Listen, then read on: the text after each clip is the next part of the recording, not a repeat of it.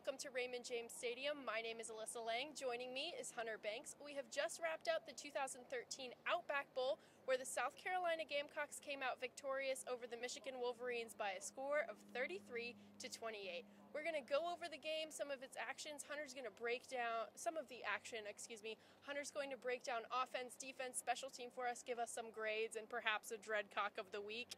Let's start with Maybe offense. if Maybe. if they're lucky. Let's start with offense. Who really stuck out to you? Who would you name your offensive MVP, and what grade would you give the South Carolina Gamecock offense today? uh, I'd give them a, a B minus. Uh, MVP goes to Ace Sanders, and Who he was also named the MVP. um, two touchdowns, 92 yards receiving. Doesn't get much better than that. And, you know, lucky for the Gamecocks, Florida State passed on him. Spurrier said he was glad that Florida and Florida State passed on him. They said he was too small to play. Well, I think he may have proved them wrong today. I think today. he played pretty well. I, he may be small, but he plays big. he does. But he played well. Connor Shaw and Dylan Thompson both played well. Um, somebody who did not play well, uh, unfortunately, as a fifth-year senior, Kenny Miles, Yes. uh, had a fumble that was a real bummer, and the running game really just could not get off the ground. yeah, neither, ne- none. Uh, if I can talk, it's been a long day. Excuse me. None of the running backs, Mike Davis, Kenny Miles, or Shon Carson, were really able to bust out any long runs. It was Yeah, only it- a few, and really not getting anything. yeah, I mean, I, if if I'm not mistaken, Connor Shaw had 102. No, he had 96 yards. Kenny Miles had one, and One. Dylan Thompson had negative 12. Wow. That was the rushing game. Michigan was really stuffing the box on them. Yes, uh, they they crashed the box and it worked to a T, and and and that created some problems for South Carolina until they got the passing game going. Now, something else that created problems for Michigan, our South Carolina defense. Who really stood out to you this game on defense? What were some of the big plays? I know there's one in particular that we are both very impressed by, none Who other than?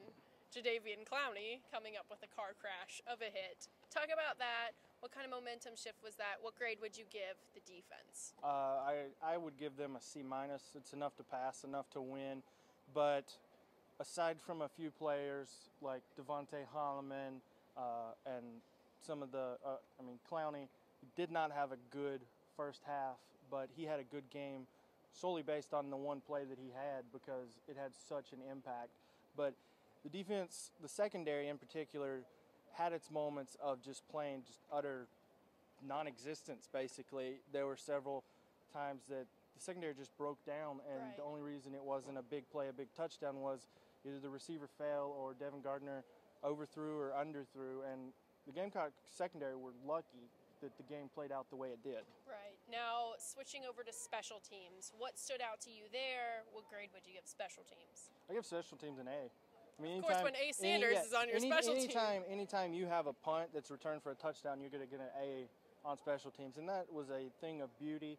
And also, you know, Adam Yates had a pretty good game uh, kicking. You know, he had a couple touchbacks. He did have one that was marked back up to the 35. Originally at the 40, but Spurrier Right. said, "Hey, hang on, that's not where the ball goes." Yeah, that was an uh, interesting uh, chain of events. Yeah, the the old ball, excuse me, the head ball coach uh, calling the referees out. Very, very interesting. But uh, it, the special teams played great. I, I don't have anything bad to say about them at all. All right, and I'm going to force you to do it. Dreadcock of the week. Who is the number one dread-headed South Carolina football player in the Outback Bowl? Who do you think it is? I think it's a toss-up between Ace Sanders and Jadeveon Clowney, but honestly, Ace was more of an impact player for the Gamecocks, so I got to give it to him. Ace Sanders is Alyssa Lang's Dreadcock of the week. Well, there you go. That's he's my dreadcock of the week. Also, it's just you know anytime he has a big play like that, really sparked the crowd. He had two touchdowns in the passing game, one in special teams, three touchdowns. Hometown guy. He's from Manatee, just up the road.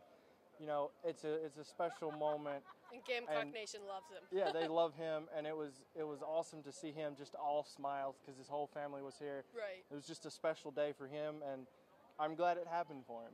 Well, is there anything else you'd like to add before we wrap it up? Uh, somebody in the press conference asked Spurrier if he was going to the NFL. He said, "No, I've already been there." So Gamecock fans, you can rest easy. Spurrier's here. Well, thank you so much for tuning in, and thank you for viewing the rest of our coverage on the Outback Bowl week. Be sure to follow us on Twitter at CCS on SGTV. And remember, Carolina, stay cocky.